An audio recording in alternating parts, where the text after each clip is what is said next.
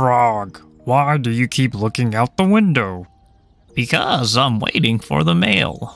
But there will not be any. Oh, yes, there will. Because I have sent you a letter.